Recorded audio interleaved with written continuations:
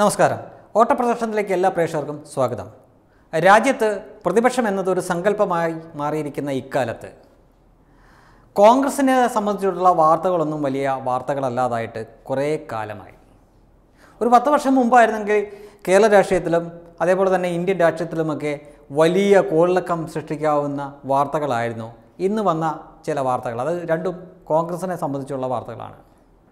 ഒരു വാർത്ത പ്രശാന്ത് കിഷോർ എന്ന് പറഞ്ഞ ഒരു തെരഞ്ഞെടുപ്പ് തന്ത്രജ്ഞനുണ്ട്. അദ്ദേഹം പല പാർട്ടിക്ക് വേണ്ടിയിട്ടും തെരഞ്ഞെടുപ്പ് തന്ത്രങ്ങളൊക്കെ ആവിഷ്കരിച്ചിട്ടുള്ള ആളാണ്. അദ്ദേഹം വലിയ പുലിയാണ് സംഭവമാണെന്നൊക്കെയാണ് ചില മാധ്യമങ്ങളൊക്കെ പറയുന്നത്. അദ്ദേഹത്തിന്റെ ആ തന്ത്രം അല്ലെങ്കിൽ ആ ബുദ്ധി വൈഭവം സ്ഥിരമായിട്ട് കിട്ടാൻ വേണ്ടിയിട്ടാണ് എന്ന് തോന്നുന്നു. സ്ഥിരമായിട്ട് കോൺഗ്രസ്സുകാരനാക്കി സ്വന്തമാക്കാം എന്ന നിലയിലേക്ക് കോൺഗ്രസ് ചില തീരുമാനങ്ങൾ എടുക്കാൻ പോകുന്നു. അപ്പോഴും അദ്ദേഹം കുറേ കണ്ടീഷൻ വെച്ചിട്ടുണ്ട് കുറേ നിർദ്ദേശങ്ങൾ വെച്ചിട്ടുണ്ട് എന്ന് പറയുന്നു. ഒന്നാമതായിട്ട് ഈ ആജീവനാന്ത പ്രധാനമന്ത്രി എന്നുള്ള ആ ഒരു രീതിയിൽ നിന്ന് രാഹുൽ ഗാന്ധിയെ മാറ്റി നിർത്തണമത്രേ നമ്മൾ കുറേ കാലം കൊണ്ട് കേൾക്കുന്നു. രണ്ടായിരത്തി പതിനാല് കേട്ടു രണ്ടായിരത്തി പത്തൊമ്പത് കേട്ടു. ഇതാ ഇന്ത്യയുടെ ഭാവി പ്രധാനമന്ത്രി രാഹുൽ ഗാന്ധി എന്ന് അപ്പോൾ ബി ജെ പിക്കാരും സംഖ്യകളൊക്കെ കളിയാക്കാൻ തുടങ്ങി ആജീവനാന്ത ഭാവി പ്രധാനമന്ത്രി അതായത് ജീവിതാവസാനം വരെ ഭാവി പ്രധാനമന്ത്രിയായിട്ടിരിക്കും. ഒന്നും നടക്കാൻ പോകുന്നില്ല. ഈ പ്രശാന്ത് കിഷോർ മുന്നോട്ട് വെക്കുന്ന ഒരു കാര്യം രാഹുൽ ഗാന്ധിനെ ഒരിക്കലും ഒരിക്കലും മോദിക്കെതിരെ ഉയർത്തി കാണിക്കരുത്. മോദിക്കെതിരെ രാഹുൽ ഗാന്ധിയെ നിർത്തി അല്ലെങ്കിൽ പ്രധാനമന്ത്രി സ്ഥാനാർത്ഥി രാഹുൽ ഗാന്ധിയാണ് എന്ന് കാണിച്ചാൽ ഒരു കാലത്തും ജയിക്കാൻ പോണില്ല. പകരം പ്രതിപക്ഷ പാർട്ടികളുടെ ഒരു ഐക്യമുണ്ടാക്കിയിട്ട് മോദിക്കെതിരെ പ്രതിപക്ഷം എന്ന രീതിയിൽ പ്രവർത്തിച്ചാൽ മാത്രമേ എന്തെങ്കിലും നേട്ടമുണ്ടാവൂ എന്നാണ് അയാൾ പറയുന്നത്.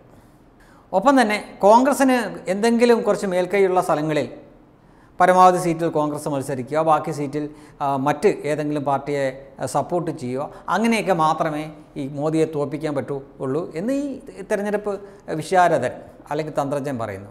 ഇതൊക്കെ കുറേ കാലമായിട്ട് ഇയാൾ തന്നെ പറയണമെന്നില്ല. പലരും ഇത് തന്നെയല്ലേ ഇരുന്നോട് പറഞ്ഞുകൊണ്ടിരുന്നത്. മോദിയെ തോൽപ്പിക്കാൻ ഏത് ചെകുത്താനോട് വേണേലും കൂട്ടുകൂടാം എന്ന് എം എ ബി വി വരെ പറഞ്ഞതാണ്.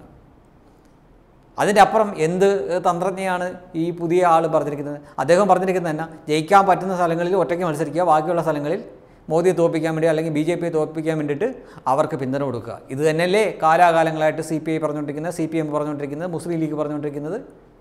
എല്ലാ ചെകുത്താന്മാരും ഇത് തന്നെയല്ലേ പറഞ്ഞുകൊണ്ടിരിക്കുന്നത്? എത്രയോ കാലമായി. രണ്ടായിരത്തി പതിനാല് തൊട്ട് നമ്മൾ കേൾക്കുന്നതാണ് ഇതിനു വേണ്ടിയിട്ട് ഒരാളെ കോൺഗ്രസ്സിലോട്ട് എടുത്ത് പിന്നെ അയക്ക് ജെല്ലും ചെലവിനും കൊടുത്തു പിന്നെ കോടികൾ അങ്ങനെ കൊടുത്തു അതിന് വല്ല ആവശ്യമുണ്ടോ? ക്രിയാത്മകമായിട്ടുള്ള പ്രതിപക്ഷമായിട്ട് പ്രവർത്തിക്കുക.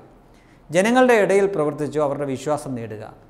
അങ്ങനെ വിശ്വാസം പഴയ പോലെ നേടി ജനങ്ങൾക്ക് തോന്നിയാൽ ഒപ്പം മോദിയുടെ പ്രവർത്തനം ബി ജെ പിയുടെ പ്രവർത്തനം കൊള്ളില്ല എന്നും കൂടെ ജനങ്ങൾക്ക് തോന്നിയാൽ മാത്രമേ നിങ്ങൾക്ക് തിരിച്ചു വരാൻ പറ്റൂ. അല്ലാതെ ഏത് തന്ത്രജ്ഞനെ കൊണ്ടുവന്നിട്ടും എത്ര തന്ത്രം മെനഞ്ഞിട്ടൊന്നും ഒരു കാര്യവുമില്ല. വെറുതെ വെള്ളത്തിൽ വരച്ച വര പോലെ ആവത്തേ ഉള്ളൂ.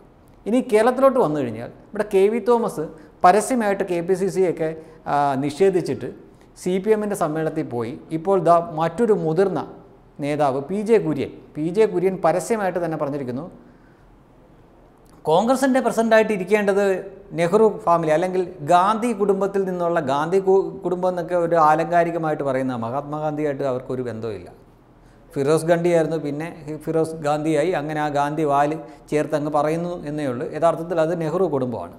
അപ്പം നെഹ്റു കുടുംബത്തിലെ ഒരാൾ തന്നെ പ്രസിഡന്റായിട്ട് ഇരിക്കണമെന്ന് നിർബന്ധമൊന്നുമില്ല.